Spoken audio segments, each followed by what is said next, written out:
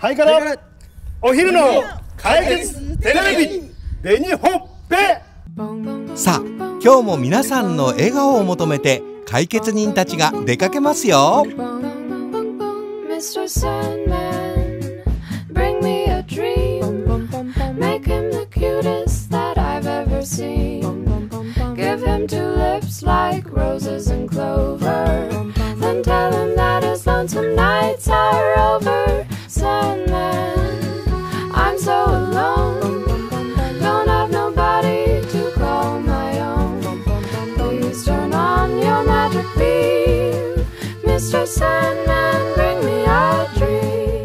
なぜパワーズは生まれたのか。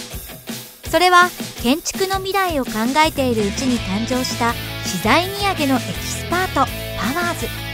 現場のスムーズな資材配置で無駄をなくす。パワーズを成長させているのは社員たち。面接した時人柄がすごい良かったので。お仕事が完了できた時などお客さんからありがとうと言っていただいたり。そう。パワーズには夢が詰まっている。求人登録も簡単。今日から俺はこのようなお悩みありませんか？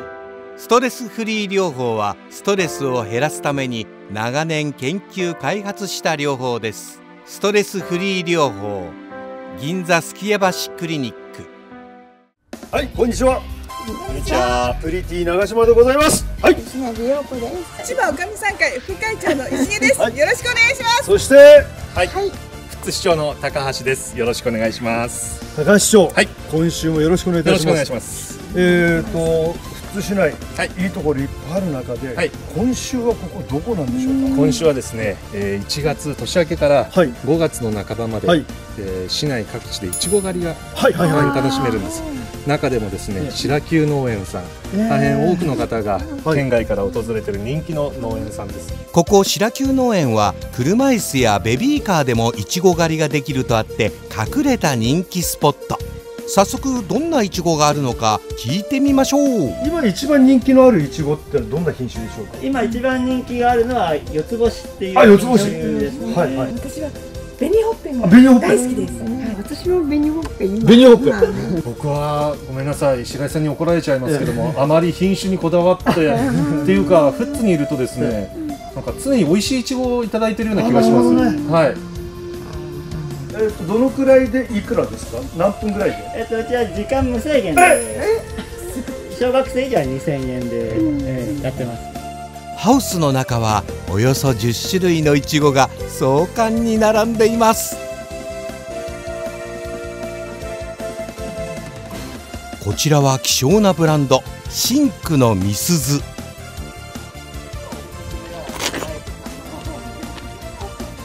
美味しいシンクのミス千葉県で生まれたんですよこれ。そして白球農園さんおすすめの星うらら。甘い。美味しいです。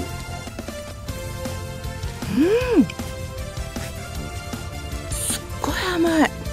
こんな一応初めてうん、うん、甘い。全然これ酸味がない。のシンクのミスズにかなうわけないだろうさ。え？ー、星うらら？どうだ？確かに。園長おすすめだけあるわ。パワーズの鈴木渡辺が願いを込めた元気のシンボルパワーズボールはこの3人に託された。チーム名は解決パワーズ。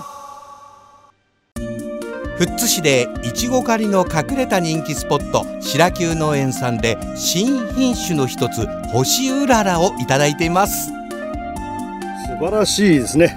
色といい形といいいやご当地の人たちはね幸せですよ。こんな素晴らしいいちごを食べられて。そうですね。富津はもう山あり海ありいちごありでもう本当に最高なんじゃないですか、ね。いちご狩り。い。本当に素晴らしいですよ、うん、あのー人口的にもうん。ちょうどいいんじゃないかな。えー、あのお店行ってもそんなに混んでないし、いや ゆっくりあの美味しいものがいっぱいありますよね。プリティさん美味しかったですあれは本当にね最高です。実は、はい白球さんのえいちごを使ったえスイーツが食べられるスイーツを作ってるお店が市内にあるんです。えー、このいちごを使った。そうなんです楽しみじゃねえかよ。目指す目的地は富津岬。どうやらこのお店らしい。こちらの野口製菓さん。野口製菓。はい。だけどあのいちごって書いてないでバカって書いてありますね。実はですね、えこのバカモナカ今富津市ええ。で大変お土産で有名な一品なんです。これがバカモナカ一見普通の貝のようですが表は口を開けて舌を出しているじゃありませんか。野口さんこんにちは。ご兄弟が中心となり営んでいる野口製菓さん。創業時はお菓子の卸から。その後お菓子作りに。トータル70年。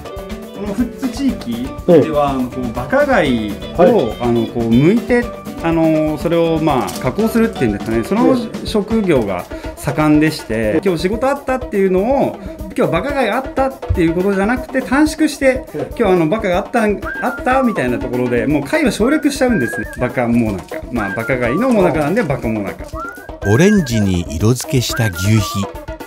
北海道産の小豆は炭火で炊く。こうすることで角が取れた甘さが増すという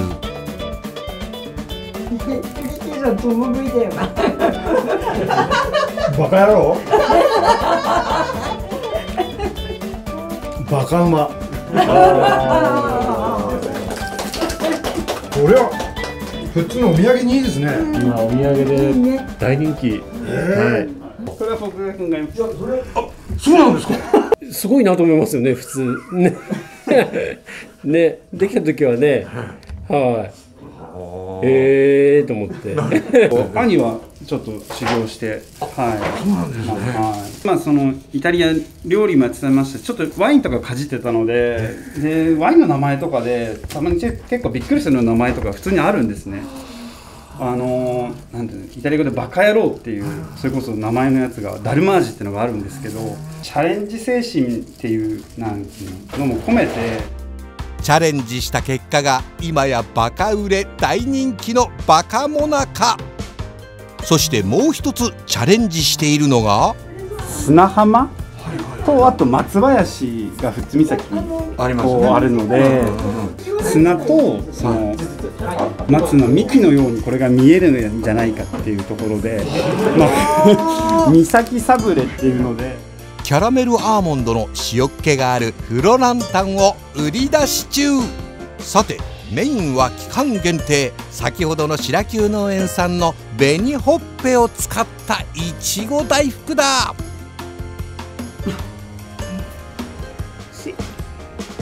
あんこといちごってよく合いますね。おい一口でいきますね。うん。美味しい。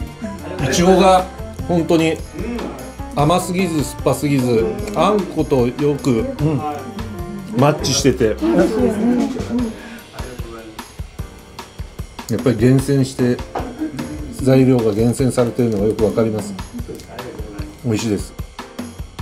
地元のつながりと愛情が詰まったいちご大福はお土産前に一口食べて帰りたい一品だ。はいからお昼の解決テレビバカモナカ一方東京荻窪。こう今青梅街道沿いなんですね、えーこちらにですね非常に長く続いている老舗のあるこんなお店をご紹介したいなと思います。行ってみましょう。お邪魔したのは御菓子司の亀屋というお店。店内のショーケースにはすべて手作りの上生菓子や栗もなか季節の生菓子が並ぶ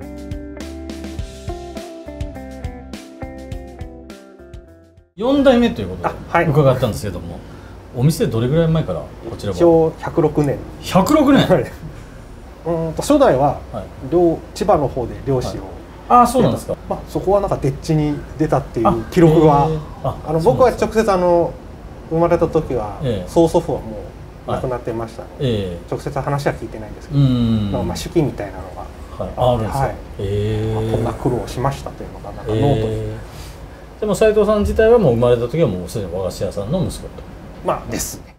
ここでひときわ目を引く荻窪名物カフェオレ大福とは？周りはあの牛皮のお餅で、はい。えー中のあんこがコーヒー味でそのさらに真ん中に生クリームが入ってる、えー。口の中でカフェオレになるへ冷凍で売っているんですねこれなんか食べ頃の状態で今出していただいたって、冷凍販売にしておりますのであーそういうことですね。4 5 0分あの食べ頃になったあなるほど状態で渡しじゃあこれ今4 5 0分経った状態で。はい。あそうなんですね。なんで冷凍販売してるんですか？ちなみに。えっと、お客様はが冷凍した方が美味しいって言ったいただいて、えー。それからするように。そうなんですはい。お味はいかが？うん本当だ。めっちゃカフェオレです。ねあありがとうございます。もっと分かんないかなと思ったんですけど。あうん。あこれ美味しいですね。和菓子なんだけどコーヒー紅茶に合いそうな。この荻窪名物カフェオレ大福を作ったのが大輔さんのお父さん。さっきお伺いしたんですけどいろんな大福を開発されたと。そうなんですよね。でその残ったのがカフェオレ大福だった、そう。なんです。あそうなんですねちなみに他どんなのがあったんですか？まああのなんていうのわさびとか。わさび、うん。はい。意外とね、はい。合うかも。あそうなんですね。えあと何かありますか？味は美味しかったです。あと梅梅大福。あ梅大あ梅大福も美味しそうですね、でもその中でやっぱり一番人気がカフェ大福はい。試行錯誤ができるのもお店の地下に和菓子工場があるからだ。まあ継ぐのかなって子供の頃から。やっぱ思われなんかそんな感じですね。意識しながら。なんか他にやりたいこととかなかったですか？うん。まあもう求めて大学行ったんですけどやっぱりなかなかなくて、え まあやればやったではい。お菓子作るのも楽しかったので、はい。なるほどなるほど。一応4年ぐらい北海道のはい。方に、あ修行まあ、修行という形は取ってますけど。あえー、兵隊じゃない形でこう維持してたいですね、うん。やっぱ伝統として、うんうん常によりすぐりの素材を使って美味しいものを追い求めお客様の声にも耳を傾ける。カフェオレ大福は地元民の傑作だ。ということでここで斉藤さん一家に恒例の応援マジック開始。カードを選んでいただきます。でちょっとそれぞれカードを見ていただいてですね、はい数字が同じ数字ですか？それとも違う数字ですかね？違います。小さい数字のカードを先に使いたいなと思うんですね。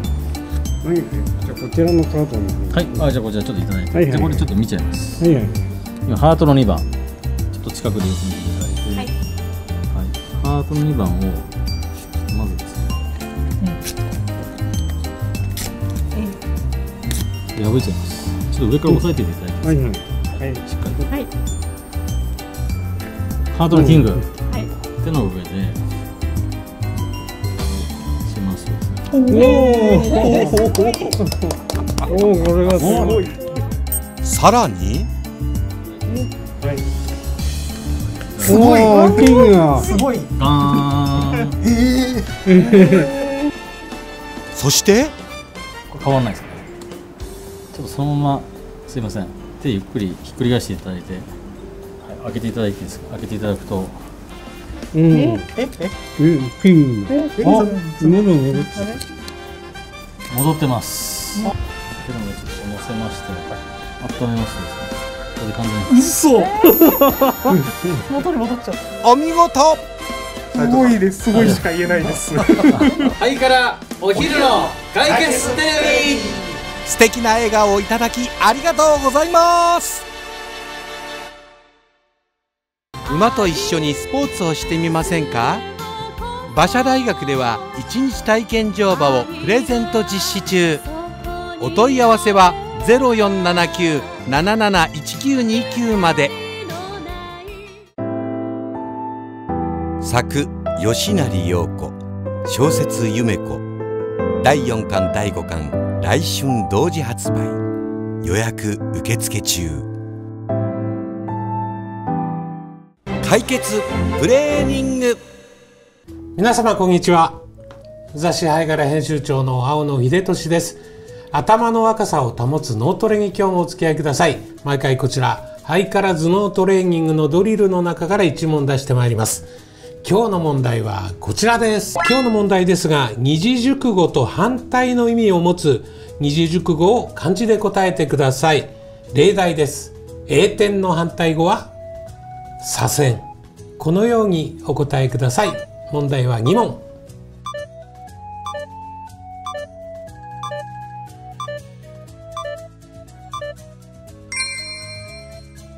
今日の答えです。自立の反対語は依存。運動の反対語は静止。このような今日の答えでした。今日2月19日はプロレスの日でございまして、えー、なんとあの力道山がシャープ兄弟と初めて試合をした日が2月の19日だったということでこれは昭和29年の話でございます、えー、コロナもだいぶ落ち着いてまいりましてスポーツイベントも制限が撤廃されました。声を上げて制限することができます。え皆様もぜひスポーツ観戦お楽しみいただければと思います。それではまた来週この番組でお会いいたしましょう。ハイカラ頭脳ドリル好評発売中。お問い合わせお待ちしております。17年前第二の人生をバラに捧げた男は自らバラ狂老人と名乗る。さて今日はどんな作業なのでしょうか。およそ1500坪2000株以上のバラがある筑波ローズガーデン。オブジェの影から覗かせているのはバラの果実。ローズヒップ。背丈は4メートルほどのロサカニーナというつるバラ。そのつるバラを剪定している藤沢さん。これバラは切るの失敗してもまた生えてきますから。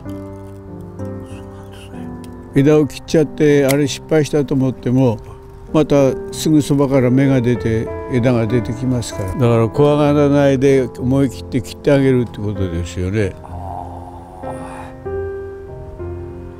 バラは切れば咲くと。そういうふうに思ってた方が間違いないです。汗を拭いながら今度は脚立に登ります。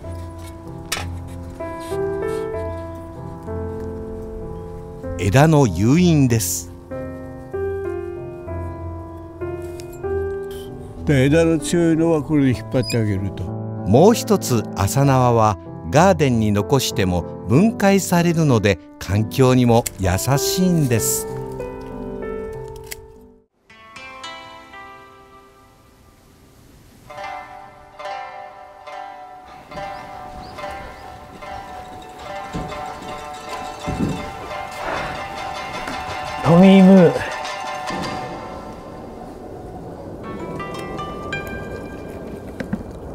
最近はグランドバーからババ馬術と大活躍だな。これからもみんなに教えてくれよ。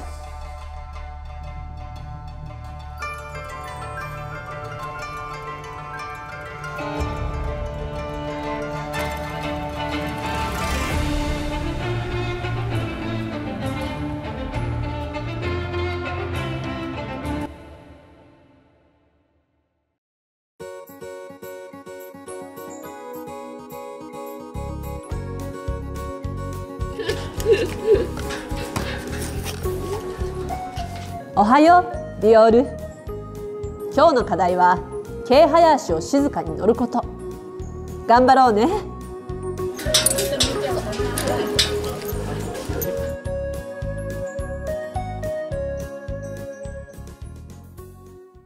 さあディオール。もう一度軽早足をしてみようね。波足から脚を圧迫して軽早足の合図。脚で体を支えるのではなくあぶみに体重が乗っているように心がける。大きく立ち上がらないようにする。お尻で押さない。やってみよ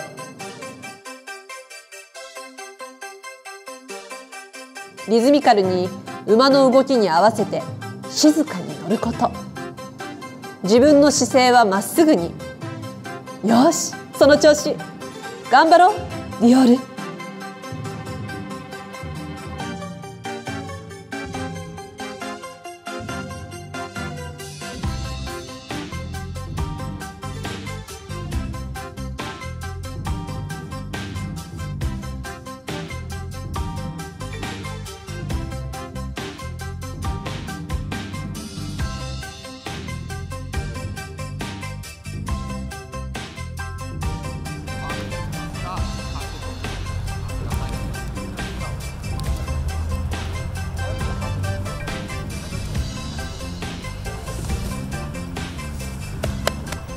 今日は気持ちよく運動できたわよね。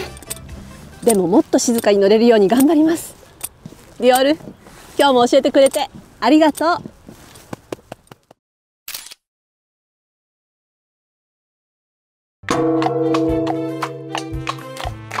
雪山でみんなウサギのように跳ねて遊んでいるのを見たぞ。それは遊びでなくてスポーツだ。スポーツ？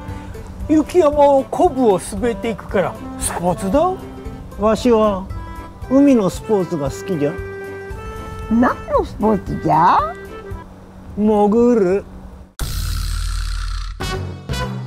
拙者馬年生まれの馬方よし今日もわからん魔術のことはきっとうまくいく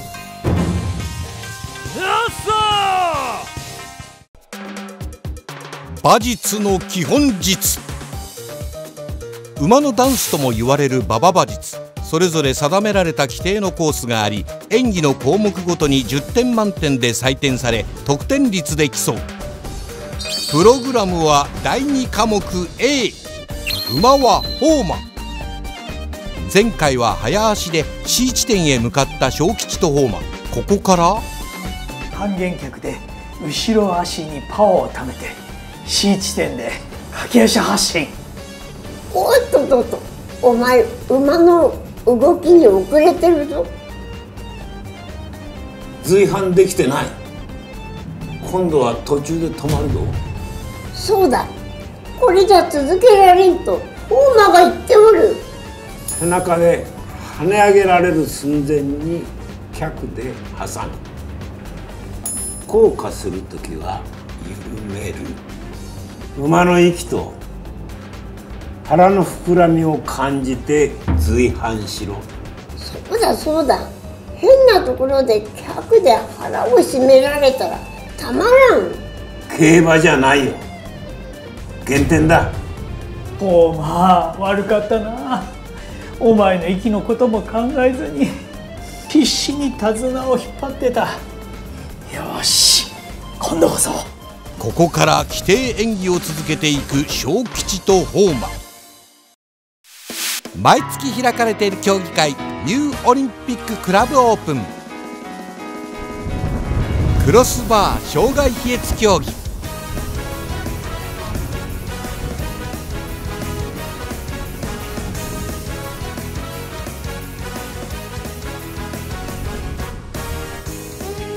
小学5年生です。年の秋ぐらいかすごい目がパッチリしててなんかおはあの毛とかもすべすべだしなんかすごい可愛いので大好きです、えっと、将来は乗馬クラブのインストラクターになりたいです。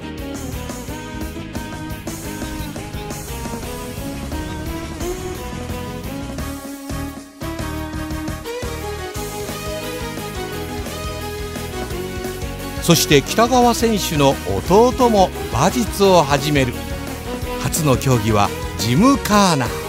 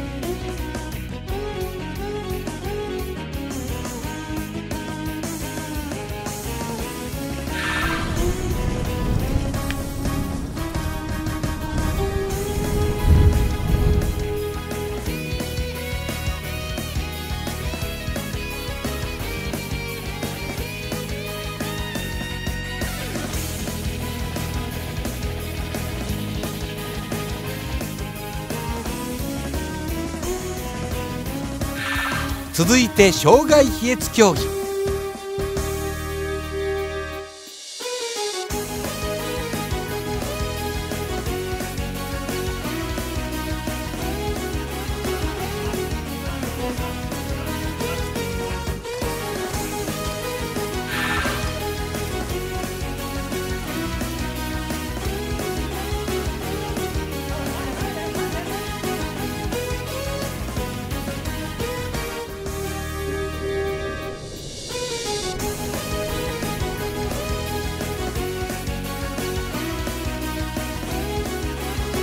術の馬術の馬場馬術のレベルをちょっと試したいなと思ってるのと障害も許されるならもうちょっと高いのも行ってみたいなと思ってチャレンジしつつ次も行きたいなと思います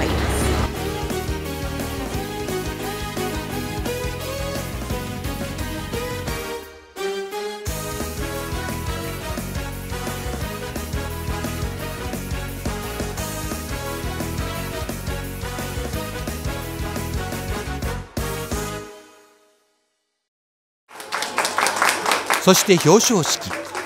馬と一緒に一つのことを成し遂げた喜びを仲間の選手たちと分かち合いそしてスキルアップにつないでいく。